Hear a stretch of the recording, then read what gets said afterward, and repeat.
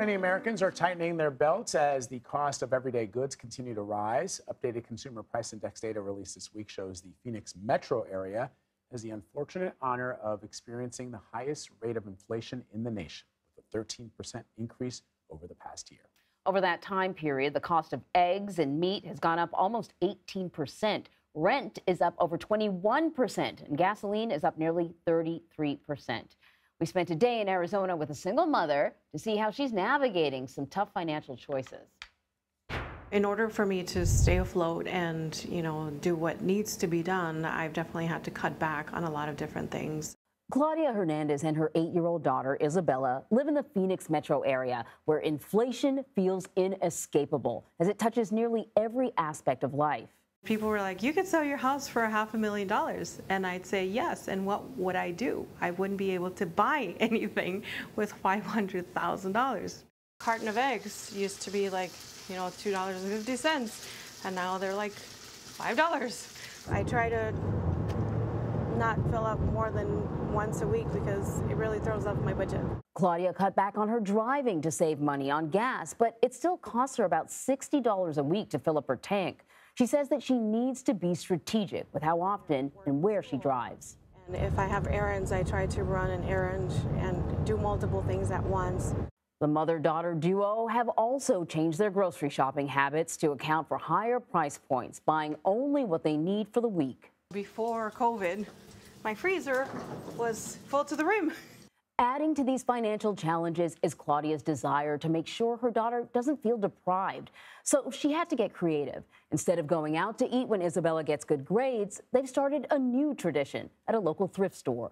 We go what we call treasure hunting. And so we, that's how we celebrate.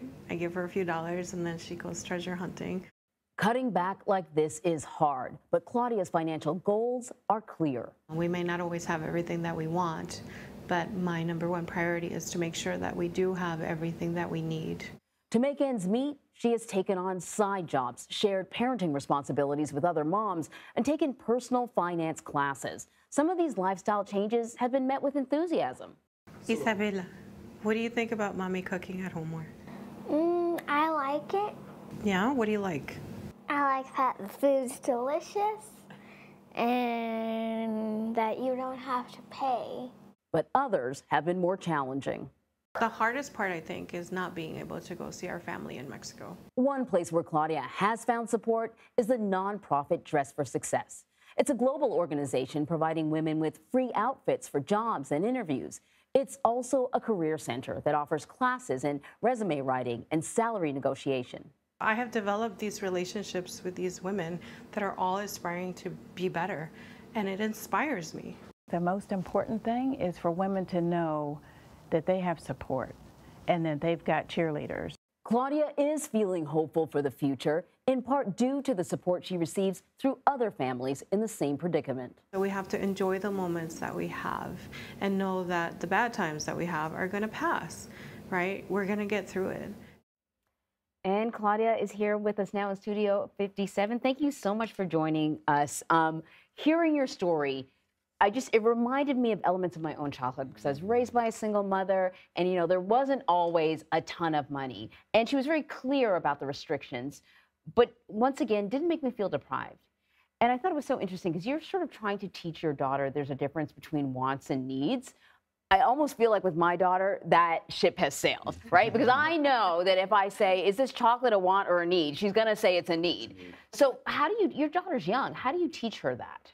Well, you know, I want her to make sure that she understands that we have choices to make, right? And I try to tell her, you know, if you choose this, then you're choosing not to do something else. Mm. And by understanding that process, I'm not just helping her today, I'm making her to make choices, helping her to make choices in the future, yeah. right? And so I tell her, I can't make you do your homework.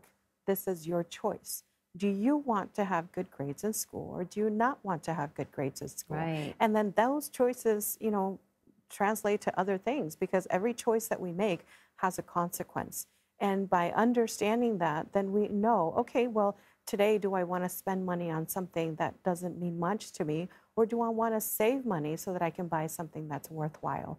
And she has a piggy bank and she gets, you know, to make those choices for her, you know, and if she wants something like she wanted a dollhouse and I told her I can't afford it, but if you want to earn extra money, you can make that choice, right? Mm-hmm. And so we had she went and walked people's dogs and she helped do chores. Yes.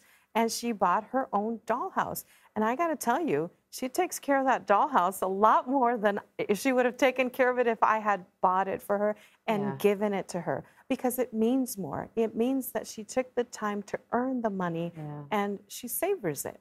Yeah, that makes a lot of sense. It really Yeah. does. Um, how do you navigate childcare as a working mom? As Anne Marie pointed out, I Oh, mean, both of us so had it was hard. My mom would sometimes have to pay like a high school kid to pick me up from school, to take me to a babysitter, or to take me to uh, after daycare um, when I was even younger.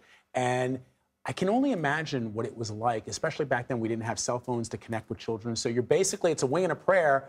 You're paying some 17-year-old kid in a Trans Am to pick me up. Right. Some- somehow And we hope- and survived. Somehow I made it to where I'm able to be here with you. So But- what's it like for now in 2022? Because it's ex- it's expensive. People It have no idea. It is very expensive. So during the summer, there is no school, and I had to beg my boss to let me work from home because it was going to cost me $250 a week to have her just go to camp. Mm-hmm. And that's a $1,000 a month, and I just can't afford that. And so I had to say, you know, if you want me to stay in this job, I need to be able to work from home. But what I always tell everybody is that you need a circle of friends, of you know, family members, or you know, have a, a phone line that you can call because you know, I have an emergency at work, my battery dies, you know, you name it, right? Life happens. So you need to create that network of, of people that can help you and that you can help them so that you can get through it, right? I have other single moms that, you know, they have me as a backup for their kid and I have them as a backup for my kid. I mean, I'm here today celebrating Dress for Success uh, worldwide, their 25th anniversary.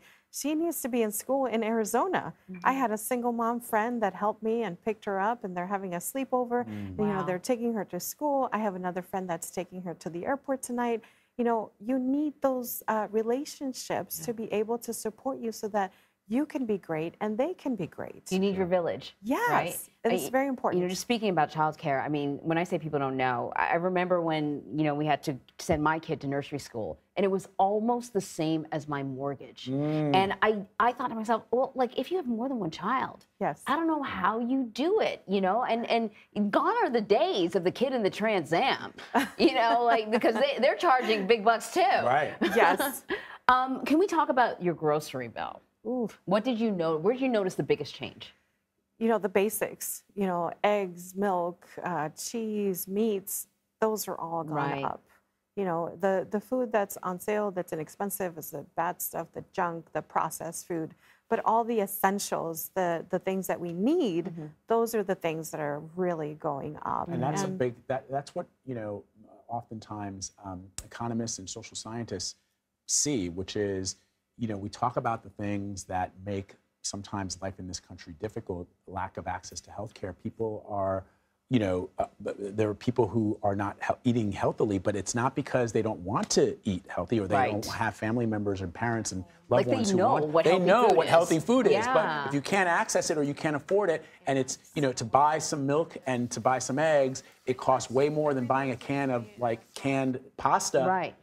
You're going to buy that highly processed canned pasta because you got to put food on the table. And you know, I remember once doing a story on a supermarket in a food desert. You know, we talk about where you know neighborhoods that don't have supermarkets, and then they had one.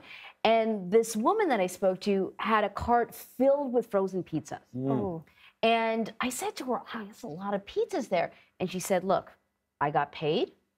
You know, if I buy bananas, they're going to go bad.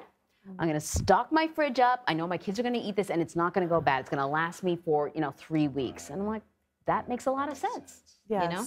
Yeah. yes Um, t- it's tough choices, but you're doing a remarkable job. Uh, it's so you. inspiration, inspirational uh, watching you. The organization, uh, Dress for Success, is a great organization. If you have extra suits or dresses, you should look for, you know, it in your in your neighborhood, in your city.